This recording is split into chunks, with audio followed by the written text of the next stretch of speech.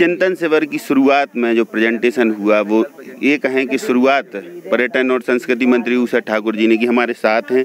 Ma'am कल एक दो नए नवाचार सामने आए। एक तो हवाई यात्रा करवाना है आपको तीर्थ दर्शन में अब हवाई यात्रा इंक्लूड होगी। जी ये एक बहुत ही क्रांतिकारी परिवर्तन है जिसके लिए माननीय मुख्यमंत्री जी की दिली इच्छा है कि हम प्रदेश के भाई बहनों को हवाई यात्राओं के साथ भी जोड़ें। और उनको तीर्थ दर्शन कराए इसके माध्यम से। पर्यटन के क्षेत्र में क्या कुछ और नए नवाचार आने वाले? क्योंकि पर्यटन भी एक बड़ा फोकस है रोज़गार का माध्यम है। पर्यटन आत्मनिर्भर के क्षेत्र में अपनी महती भूमिका निभाए इस बात को लेकर चिंतन हुआ। पर्यटन एक ऐसा माध्यम है जहाँ कम पूंजी से भी हम नागरिकों को आत्मनिर्भर होने के लिए प्रशिक्षण दे सकते हैं। होम स्टे रूरल स्टे इसके उदाहरण हैं। और हम बहनों के स्वयं सहायता समूह बनाकर उनको भी पर्यटन के काम काज के साथ जोड़ रहे यानी कि रोज़गार के नए आयाम अब खोलने वाला है पर्यटन का क्षेत्र। निश्चित रूप से। बिल्कुल। आज आपके जिला जो प्रभार वाले हैं उनका प्रेजेंटेशन होना है। जी। आज प्रभार के जिलों में जो स्थिति है सब कामों को लेकर उनका भी चर्चा होगी। आज चिंतन मंथन का दूसरा दिन है। पचमणी की वादियों में शिवराज कैबिनेट हमारे साथ हैं। मंत्री मीना सिंह जी। मैम, कल एक प्रेजेंटेशन हुआ, अनुसूचित जाति, अनुसूचित जनजाति को लेकर। क्या कुछ नया नवाचार होने वाला है? बहुत कुछ नया होगा। बहुत अच्छे अच्छे सुझाव आए हुए हैं और हम उनके ऊपर ही काम करेंगे, माननीय मुख्यमंत्री जी के निर्देशानुसार। बहुत अच्छा होगा और अच्छे सुझाव सभी ने दिए हैं और जो हमारे जनजाति भाई बहनों के लिए अनुसूचित जाति भाई बहनों के लिए ये जो भी सुझाव आए हैं सब उनके लिए कारगर होगा। तो अनुसूचित जनजाति वर्ग के लिए जैसा एक आयोजन हुआ था भोपाल में तो कल जो बैठक में क्या प्रेजेंटेशन हुआ उसको लेकर और आगामी क्या रणनीति क्या बीच में जाएँगे मंत्री समूह जाएगा मुख्यमंत्री जाएँगे आप जाएँगे या विभागीय तौर पर क्या उनके लिए कुछ क्रियान्वयन? देखिए अभी तो फ़िलहाल ही जो चौदह अप्रैल को अंबेडकर जयंती जी, जयंती का कार्यक्रम आ रहा है तो उस संबंध में विस्तृत चर्चा हुई और पहले महू में कोरोना के पहले ये कार्यक्रम संपन्न होता रहा है।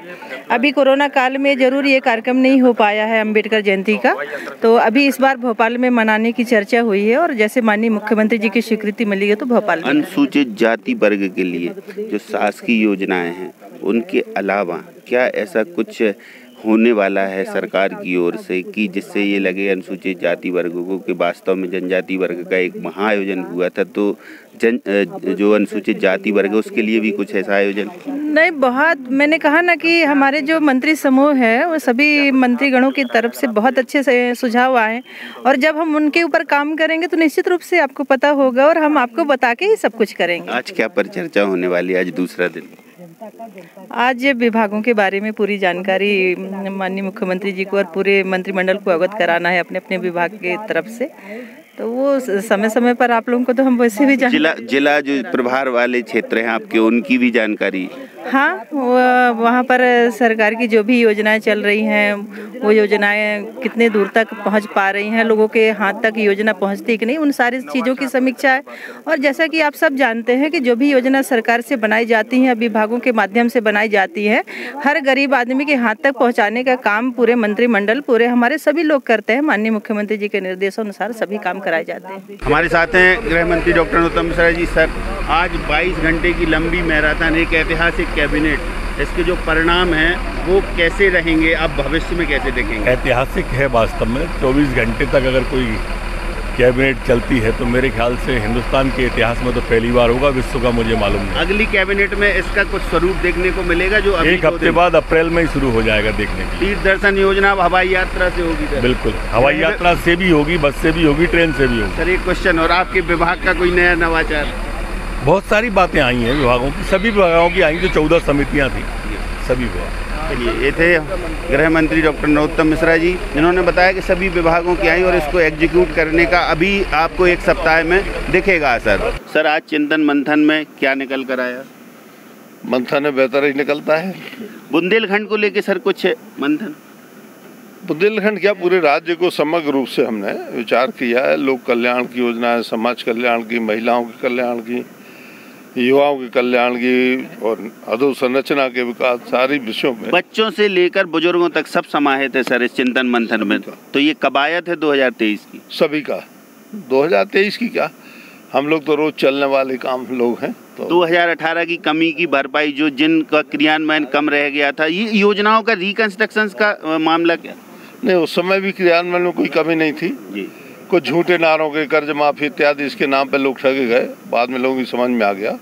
अब हमारा हम्म, मैं मान के चलता हूँ कि बहुत बड़ा बहुमत हमारा। जनप्रतिनिधि अब जनता के साथ जाएँ। कन्यादान योजना भी विधायक जाएँगे। तीर्थ दर्शन योजना में सरकार जाएगी साथ। हाँ निश्चित रूप से ये हालाँकि पहले भी तय हुआ था लेकिन बहुत ज़्यादा प्रभावी नहीं हो पाया लेकिन इस बार हम इसको प्रभावी बना की लगातार बैठक हमारे साथ हैं गोविंद सिंह राजपूत जी। सर 24 घंटे की मैराथन बैठक कहें से 24 घंटे की लगातार बैठक हुई। आज ही नहीं, कल भी हुई और जिस प्रकार समुद्र मंथन के बाद अमृत निकला था, ऐसे ही ये जो तेरह तेरह बारह बारह घंटे दो दिन मंथन हुआ है, चिंतन मंथन हुआ है इससे बहुत सारे आइडियाज़ आए हैं।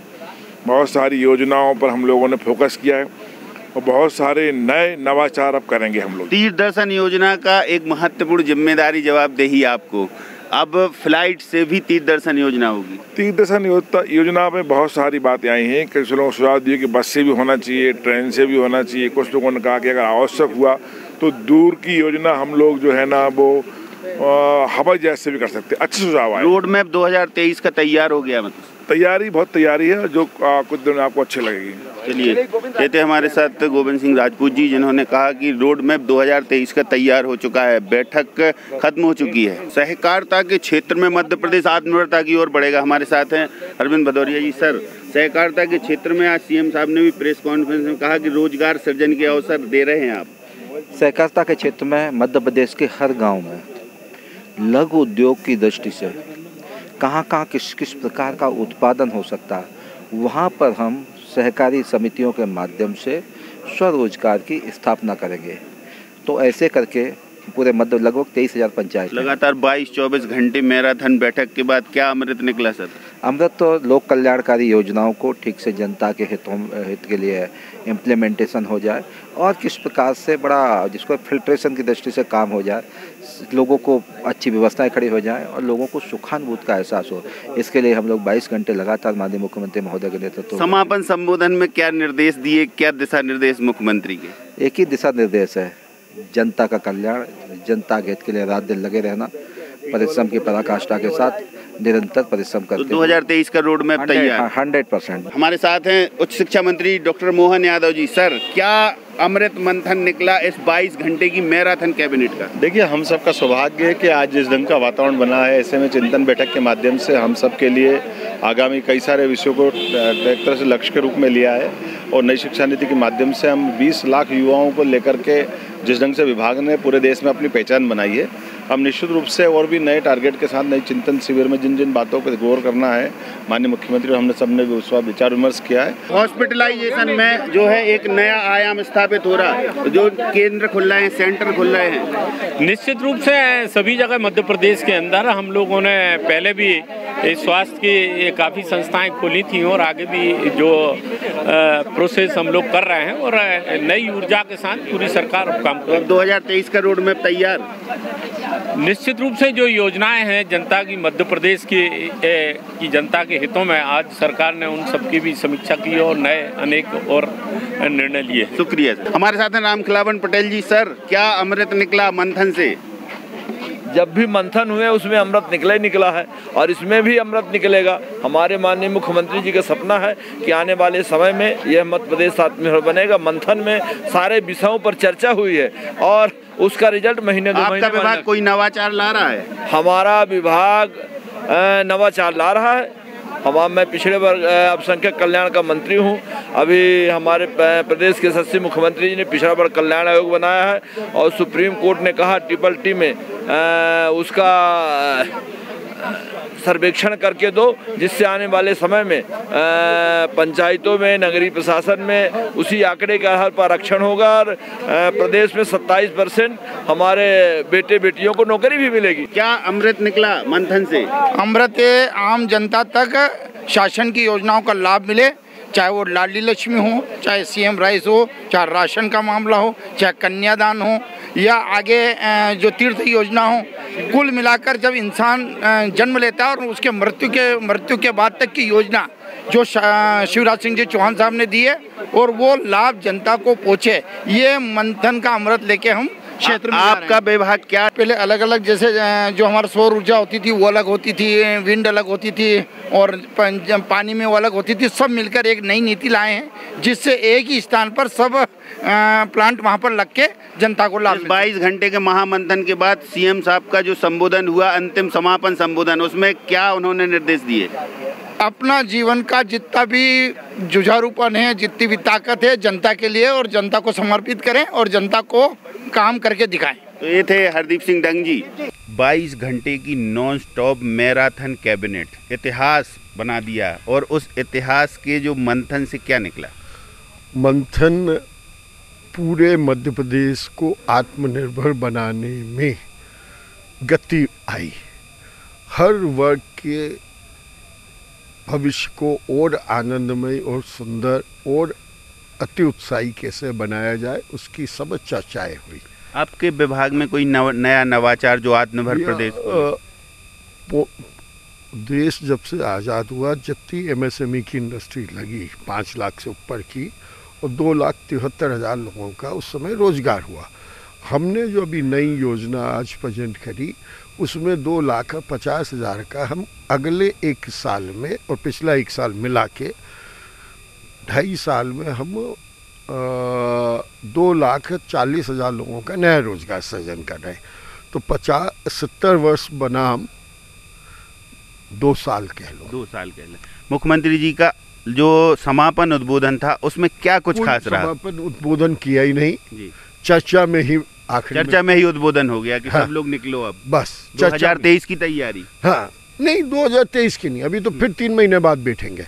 आज जो जो तय किया उसका एग्जीक्यूशन देखेंगे। कुछ कमेटियाँ बनाई कुछ वर्ग बनाए इन सबको मिलाना है। ये थे हमारे साथ मंत्री ओम प्रकाश सकलेजा जी। देखो हमारा दो रोज का मंथन बहुत अच्छा रहा। जी। जैसे समूह विवाह की जो बातें हो रही थी उस पर भी मुने माननीय मुख्यमंत्री जी ने निर्णय ले लिया है कि जो समूह विवाह होगा उसको हम पचपन हज़ार रुपये में सभी सामान खरीद के देंगे। सर कन्यादान योजना के साथ साथ बच्चों से लेकर बुज़ुर्गों तक सबकी चिंता सरकार ने की है इन 22 घंटों देखो बच्चा पैदा होता है मरते तक के लिए माननीय मुख्यमंत्री जी ने योजना बनाई है। 2023 का रोड मैप खाका तैयार? देखो हम लोग जीतेंगे।